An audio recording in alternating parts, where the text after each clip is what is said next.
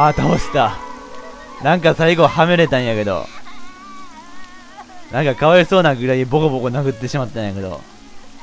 まあいいや。なんとか勝てた。もうカットしたんですけど俺30分ぐらいミューちゃんと戦いよった。ああもうようやく勝てた。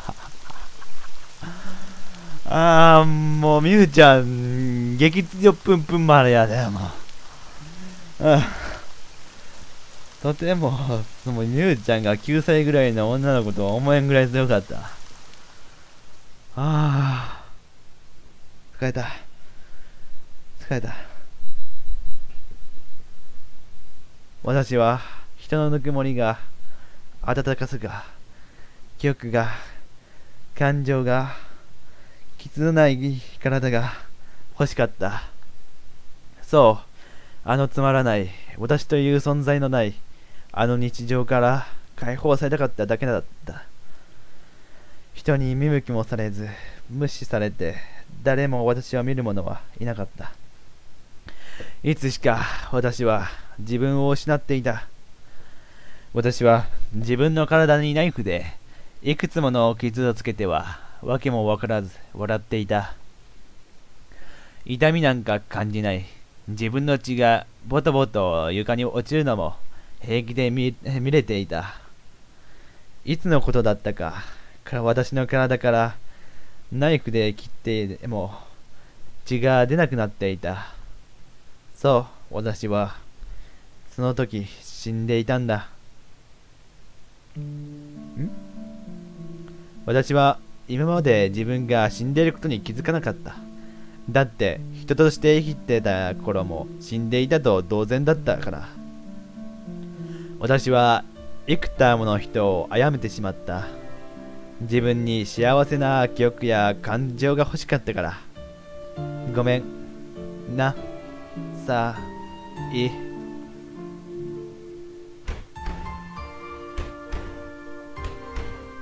ミュウ。ミュウ。ごめんね。ごめんね。約束守れなくて。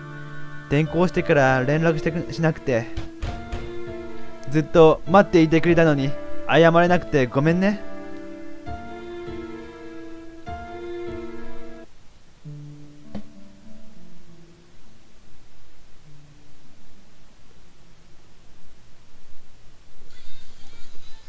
このタイミングでちょっと携帯ちょっとなるのやめてなるやめて花もそれ忘れとったけどああ、もうこのタイミングでなりおったよ。もう最悪だよ、タイミングが。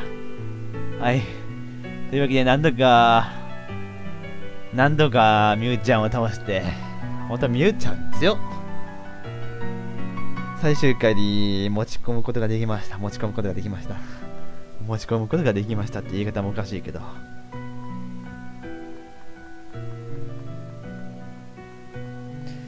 疲れた。こんな感じで記憶少女会えなくて外伝でした。えー、記憶少女会えなくて記憶少女の外伝であります。記憶少女やってきて会えなくてやった感じですが、ようやく会えなくての意味が分か分かってよかったと思います。会えなくて。会えなくてっていうのはまあ、会えないって意味は分かっとったけど、そういう感じで会えなかったって感じなんですね。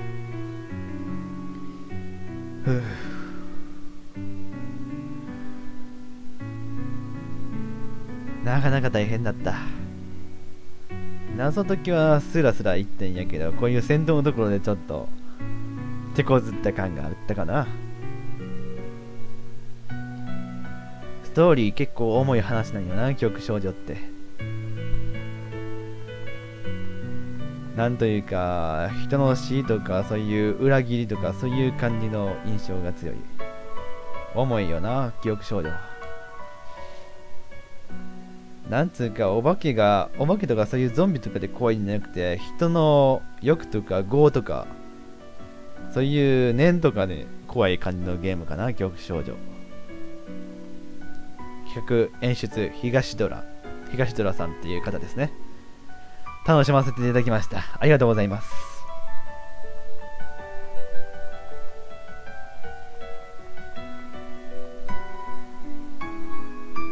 記憶少女会えなくて。しばらくして私はあの家の庭に立っていた。空はもう明るく差し掛かってきているところだった。おばあちゃんの家の方に歩く。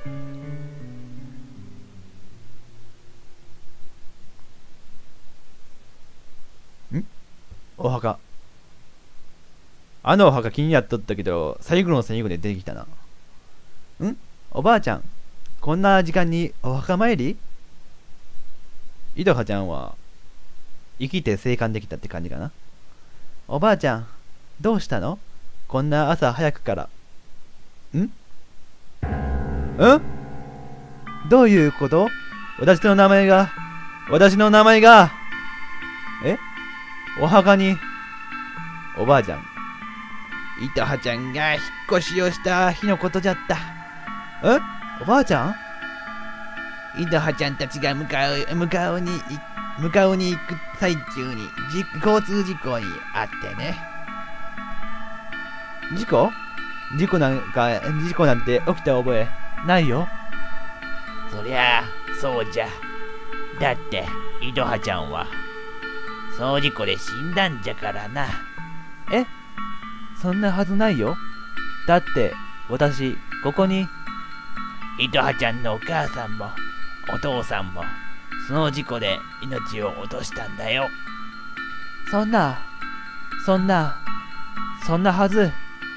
だってお母さん今も赤ちゃんを産むために入院しているはずじゃ。初め聞いた時わしも驚いたよ。だっていとはちゃんのお母さんは事故で一緒に死んじまったんだからね。そんなそんなはずない。わしだって信じたくなかったよ。大事な孫も実の娘も失ったんだからね。じゃあ今の私って言うで？わしも最初はそう思ったよじゃがそうじゃなかった。え？わしは昨日お前さんが来た時に確信したよ。お前さん記憶おかしくなっているじゃろ？え？どういうこと？お前さん本当のいとはちゃんじゃないね。本当のいとはちゃんならあの家のことを知らないはずない。ないより。いとはちゃんとあんなに仲の良かったあのみゆちゃんのことを忘れるはずがない。お前さんあやかし記憶少女じゃな？え？私が記憶少女？え？そんなわけ？私が記憶少女？どうして？おばあちゃん私に何を？あれ？私の体が溶けて今かけたのは魔除けの水じゃ。はよ出て行きなさい。この村からこの世から。お前さんはわしいや私たちを侮辱した。え？ー、あなたは私の皮をかぶってみゆちゃんのお母さんお父さんお姉さんを包丁のこぎりで無残に殺した。そう。さっきわしやそう。さっきわしの家で話したあの事件。あれもすべてお前さんの仕業じゃ。そんなことそんなこと私はしていない。だってそんな記憶ないわよね。だってあなたは記憶少女なんだから。わしらもこの村の者もお前みんなお前さんの仕業じゃ。そう。みんなあなたに殺された。私の家族のあの事故も全部あなたが仕向けた。全部奪っていったのはあの記憶少女じゃないあなたよ。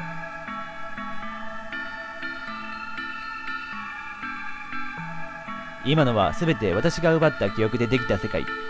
一部の事情事柄は本物ではない。いろんな記憶が混ざってできたもの。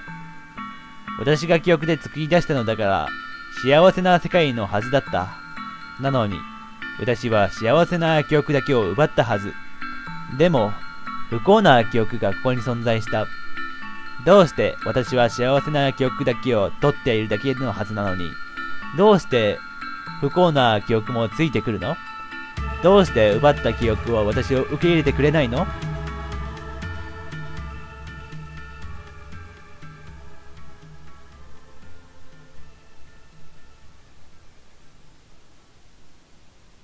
記憶少女、会えなくて、がん。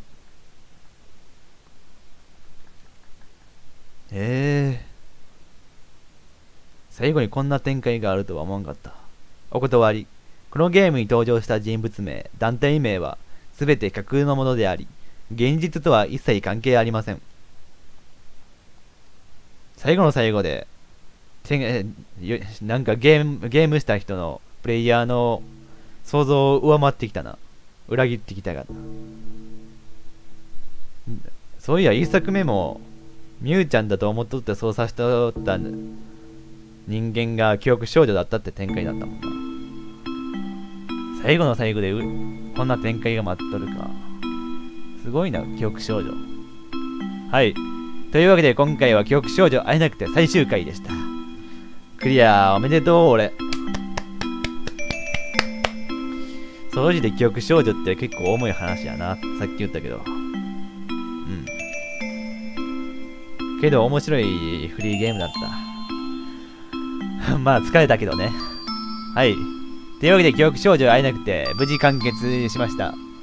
えーと、記憶少女会えなくての続き、直接の続きではないけど、正確には前作っていうか、本編の記憶少女の続編になるんやけど、それの続編として、記憶少女 G エンドっていうのがあるんです。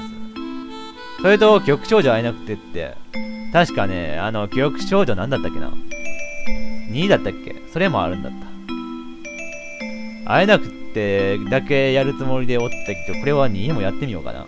どんな感じかわからんけど。はい。というわけで、まあ、時期に記憶少女2の方も、をやって、最後に記憶少女 G エンドをやって、記憶少女の実況を終わりとさせていただきたいと思います。記憶少女シリーズのぜ実況ね。うん。外伝っていうだけあって、本編とすごい絡んどって楽しかったな。まあ、話はこれくらいかな。というわけで、記憶少女会えなくて最終回です。ありがとうございました。視聴してしてくださった皆さん。えー、というわけで今回はこの辺で、ご視聴ありがとうございました。See you again!